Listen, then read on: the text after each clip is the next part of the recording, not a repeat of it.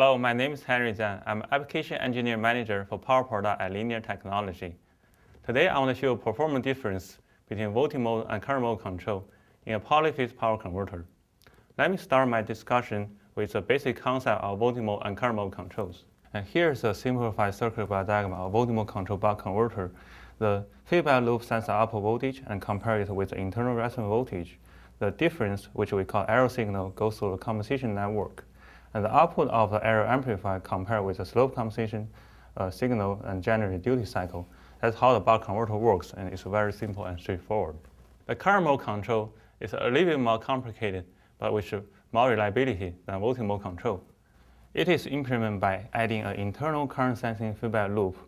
This current sensing feedback loop is faster than the external voltage feedback loop.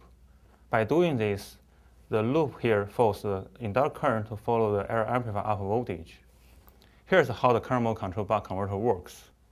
At every time the internal clock turns on the top side MOSFET here, that's the start of the duty cycle.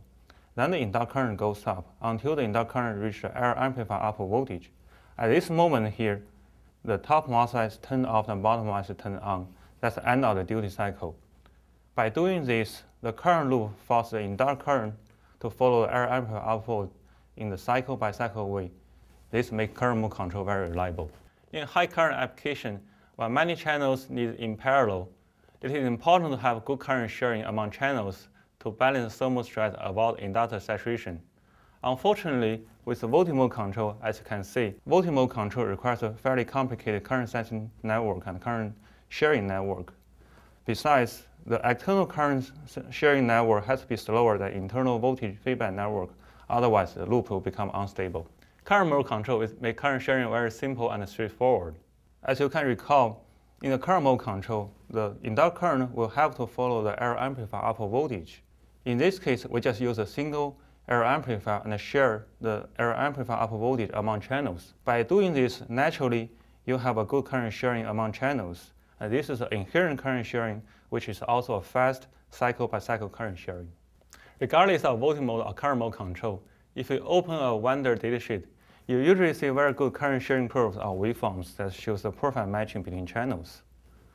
However, what I want to remind you today is this nice current sharing curve or waveforms are only for condition which we call DC current sharing or steady current sharing. What the vendor don't show you is the dynamic current sharing for the condition on the transient such as power up, power down, low step, or short circuit conditions. The current sharing under those conditions are important, and that's something I want to show you today. Here are the typical waveform of a voltage mode controlled converter with slow current sharing loop. It's taken with a three-phase buck converter. The waveform here is output voltage, and the waveform here in three different colors, yellow, purple, and green, are the inductor current waveform. As you can see, although the inductor current have perfect current sharing in the DC condition here, however, at a low step transient, you see a clear mismatch between the inductor current waveform. This mismatch means one channel will handle too much current, which will end up uh, inductor saturation or potentially damage the MOSFET. Besides, if this low step happens at a high speed and high frequency, this mismatch could cause a thermal problem as well. Here are the typical waveform of a current mode control converter at a low step.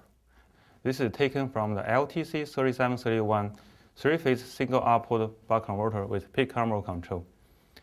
The waveform here are the three-channel inductor current waveform. Remember, with the current mode control, you have fast cycle-by-cycle -cycle current sharing. Therefore, you have almost identical waveform between these three channels. You have a good current sharing in both DC low stop, step up transient and low step down transient. In summary, current mode control offers you fast and simple current sharing. Thank you for your time. For more information, please visit the Linear Technology website.